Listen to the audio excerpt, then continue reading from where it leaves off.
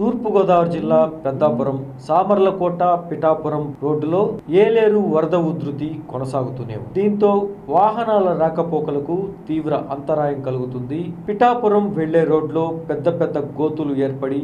road గుంఠలమయమై ఈ నేపథ్యంలో పిఠాపురం నుండి విశాఖ వెళ్తుండగా ఓ లారీ వరద నీటిలో చిక్కుకుంది